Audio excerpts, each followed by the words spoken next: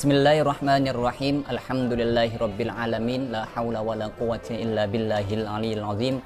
Allahumma salli ala sayyidina Muhammad wa ala ali sayyidina Muhammad amma ba'd.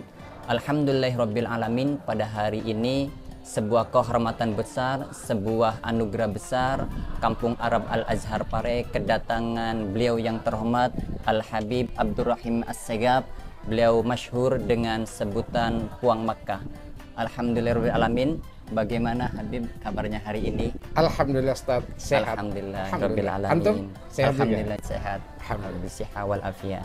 Ustaz, ada beberapa ingin saya tanyakan kepada Puang Makkah. Iya. Eh, ini mungkin kali berapa kali kunjungan ke Kampung Arab Al Azhar Iya. untuk mungkin menjenguk putranya Sayyid Ahsan Segaf. Iya. Mungkin saya ingin bertanya Ustadz, bagaimana kesan-kesan pertama kali atau waktu awal jumpa ke sini melihat Kampung Arab Al Azhar Pare? Aduh.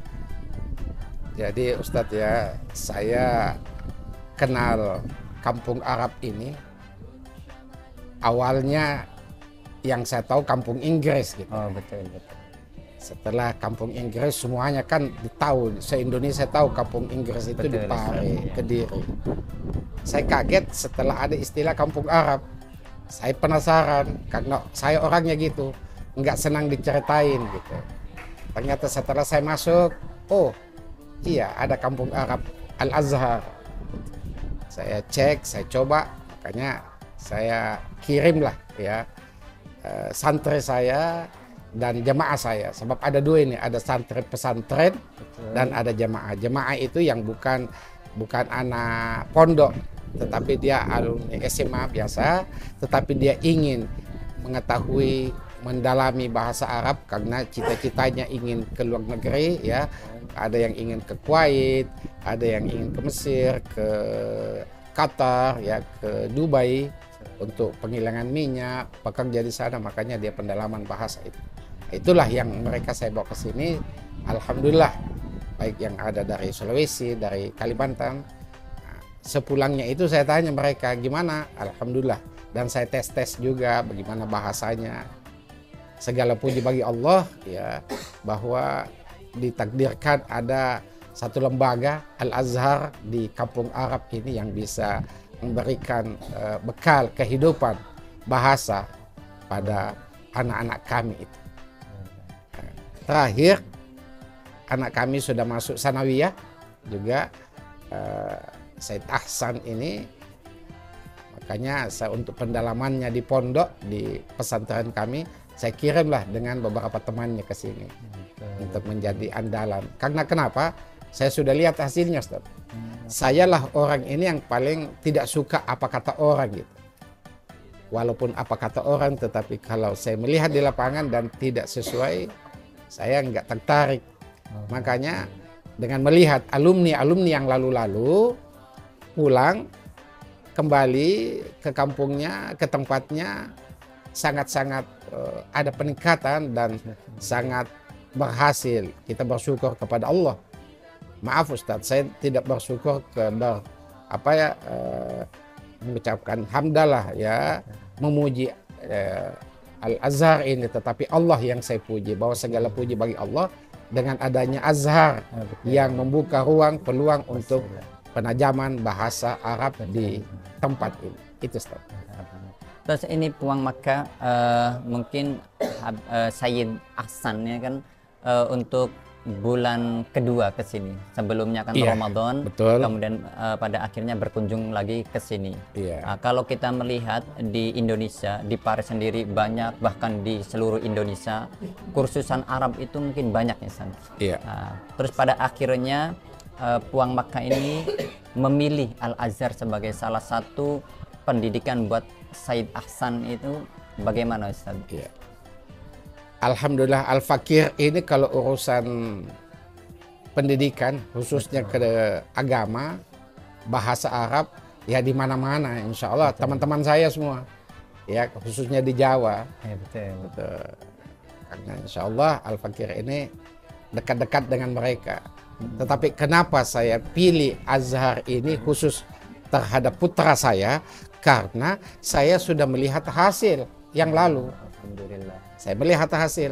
Kalau nggak ada hasilnya ngapain? Betul, betul. Iya kan? Saya sudah capek kirim ke sini, jauh, waktu, tenaga, segala macamnya. Kemudian nggak ada hasil ngapain? Alhamdulillahnya karena saya melihat uh, alumni di sini itu sangat uh, apa ya sangat kuat ya setelah lepas keluar dari tempat ini. Termasuk Ahsan sendiri sewaktu Ramadan kan cuma sebulan, Betul. ya. cuma sebulan. Nah dia pulang, pulang ditanya dengan eh, aminya ya kakak saya, kakak saya itu kan alumni eh, Fakultas Adab Oh, betul. sastra Arab di Sastra Ciputat Arab, ya. Ciputat. Yang sekarang Syarif Hidayatullah. Hidayatullah. Ya dulu masih IAIN. Iya, ya. betul, betul. Beliau seleting dengan Nur Halis Majid Hmm, Allah yarhamu. Itu.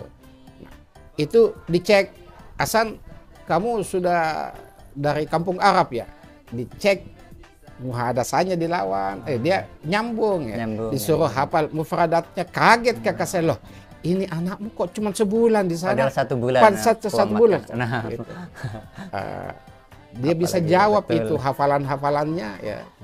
Yang tadinya cuma tiga mufradat mungkin empat per hari di di apa di pondok dia bisa 100 di sini per hari hafalannya. Dia bisa setor itu. Makanya kaget omnya loh anakmu ini subhanallah. Saya bilang iya subhanallahnya tapi bukan hanya itu. Tergantung juga ustadznya kak. Saya Betul. kasih sampaikan saya bercanda dengan eh, kakak saya itu. Nah, sehingga itu yang satu. Yang kedua dia masih penasaran. Hmm, sehingga dia minta lagi abah saya cuma sebulan saya mau yang lebih lama lagi supaya saya lebih kuat saya tanya mau nggak? Iya makanya saya minta abah izinkan saya di pondok saya ah, supaya nanti bisa lebih kuat dan saya bisa kembali ke pondok. Insya Allah panjang umur bisa mengabdi juga. Alhamdulillah. saya sampaikan kepada eh, pembina eh, apa pemimpin pondoknya. Hmm, saya tanya bagaimana Ustadz? Ustadz Fahri ya beliau juga alumni Azhar Mesir. Saya tanya gimana Ustadz? Apa diizinkan anak kita ini? Dia bilang jangan cuma Aksan saja tetapi teman-teman yang lain yang punya kompetensi berkualitas untuk itu oh saya bilang alhamdulillah kalau begitu. Makanya ada beberapa yang dikirim ke sini bukan anak saya saja. Alhamdulillah. itulah diambil enam bulannya. Betul, betul. pemantapan Terus uang Mekah ini mungkin pe- eh, pesan untuk anak-anak muda zaman sekarang biar lebih tumbuh cintanya terhadap bahasa Arab, biar lebih giat lagi terhadap pembelajaran bahasa Arab. Mungkin ada motivasi atau pesan untuk anak-anak muda di luar sana Iya. supaya lebih mencintai bahasa Arab. Iya.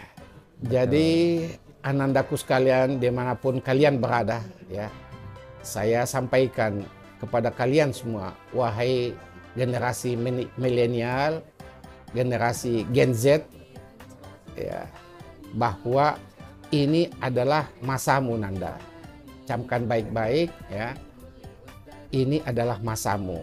Masa ini sangat ditentukan ke depannya yang bisa menguasai dunia ini yang kuat dalam urusan bahasa.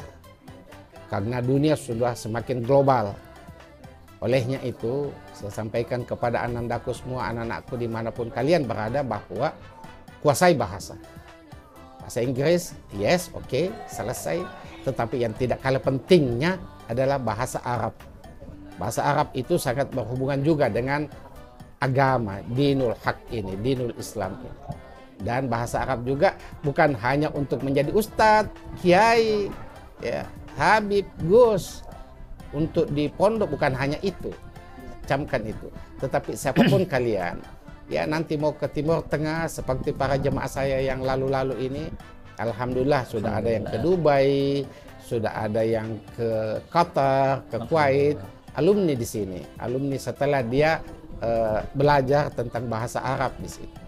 Jadi hilangkan image kalian bahwa oh saya kan nggak mau jadi ustadz, saya kan bukan alumni pesantren, lah tidak. Tetapi siapa pun kalian hendaknya kuasailah bahasa Arab dengan baik dan benar. Insya Allah kalian akan bisa mengikuti perkembangan peradaban milenial ini. itu yang saya sarankan, yang saya pesankan kepada anak-anakku sekalian. Mungkin itu Ustadz yang saya sampaikan kepada anak-anak. Bismillah. Alhamdulillah. Alhamdulillah Puang Makkah, eh, saya pribadi mewakili Kampung Arab Al Azhar mengucapkan terima kasih sekali sudah mempercayai lembaga kami Kampung Arab Al Azhar untuk putra Puang Makkah Sayyid Ahsan. Bukan hanya putra saya aja Ustaz. Oh iya, bersama Jangan jamaah teman-teman, saya juga betul. teman-temannya ya. Alhamdulillah sudah mempercayai Yeah. Kampung Arab Al Azhar Yeah. sebagai wadah untuk pendidikan untuk, untuk pendidikan Habib Ahsan beserta teman-temannya Iya. jamaah uh, Puang Makkah. Nah, semoga ini menjadi keberkahan juga terhadap Kampung Arab Al, Al Azhar karena kedatangan Said Ahsan untuk belajar di sini. Selain Habib Hasan belajar, kita juga eh, meminta berkah. Nah, semoga kita semua di sini mendapatkan keber- keberkahan dari Said Hasan, kemudian ke Insya Allah, atas insya Allah. atasnya Amin, Puang amin, Makkah, kemudian sampai Sayyidina Muhammad sallallahu alaihi Allahumma wasallam. salli wa sallim wa barik alaih wa ala alihi. Mungkin eh, itu saja teman-teman semuanya di mana pun berada. Alhamdulillah mungkin itu sekilas eh, beberapa pertanyaan global dan terkait Kampung Arab Al Azhar eh, kesan-kesan dari beliau yang terhormat Buang Makkah kemudian motivasi dari Buang Makkah semoga bisa diambil apa-apa yang dikatakan beliau. Terima kasih dari saya Hilman Solehuddin selaku bagian dari Kampung Arab Al Azhar. Sekian, assalamualaikum warahmatullahi wabarakatuh. Waalaikumsalam warahmatullahi wabarakatuh.